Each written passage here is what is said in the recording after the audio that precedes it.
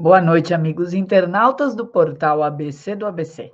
Começando nesta sexta-feira, 10 de junho, mais um Top 10. As 10 notícias mais lidas do portal ABC do ABC durante o dia. Vamos lá?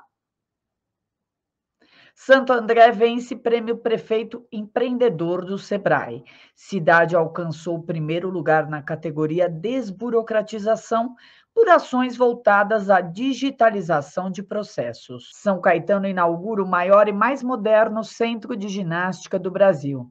Centro de Excelência Esportiva de Ginástica Artística e Rítmica receberá semanalmente mais de mil atletas, entre profissionais e moradores. São Paulo. Novo secretário estadual da Educação anuncia a contratação de 2.900 professores. Novos contratados terão salário base entre 5 mil e 7 mil reais em jornada de 40 horas semanais. Zona Sul de São Paulo ganha sua primeira casa de acolhimento a mulheres trans. Centro de Acolhida Especial Casarão Brasil é inaugurado na região de Interlagos. Ranking dos 20 clubes que mais faturam no Brasil.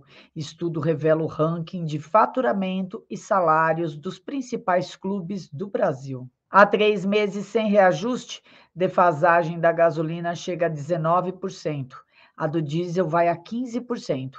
Combustíveis estão, respectivamente, a 90 e 31 dias congelados. Petrobras confirma a lista de indicados como pais de Andrade para a presidência. Foram indicados 10 candidatos da União para as vagas a serem preenchidas no Conselho de Administração. Cúpula das Américas. Bolsonaro discursa a líderes e vai a Orlando inaugurar vice-consulado presidente ainda deve ter reuniões bilaterais com outros países, como a Colômbia e o Equador. Casa Branca diz que Biden e Bolsonaro falaram em apoiar a renovação democrática.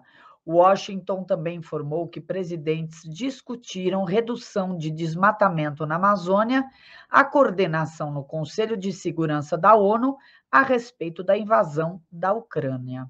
Putin se compara a Pedro o Grande e fala em devolver territórios à Rússia.